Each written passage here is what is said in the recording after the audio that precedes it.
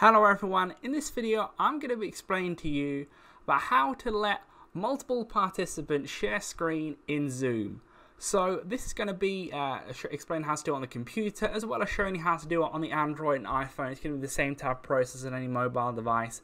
So first of all, if you're on the phone, you're going to want to uh, click the bottom right hand corner uh, where it says more, the three little dots there. And to do this, you're going to need to actually be the host of the meeting. So either I let the meeting of the host know how to do this or do it yourself.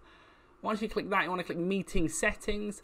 And then you'll want to see uh, where it says allow participants to. That's going to have to be green. So if it is white, just click it, it'll be green. And once that's done, you want to click the top right hand corner, let's click done. And then it'll be finished. And if you're on your computer, you're going to want to click uh, to the right hand side where it has a little arrow up uh, where it says share screen. You're going to want to tick the multiple participants can share screen simultaneously. Uh, you're going to make sure that's ticked there, and that means everyone in the meeting will then be able to share their screen. So leave a like on the video if you're going to go out and do this. Subscribe for more videos like this. Click on screen to see more how-to videos on the Zoom app and other videos similar. But that's it for now. I'll see you on the next video.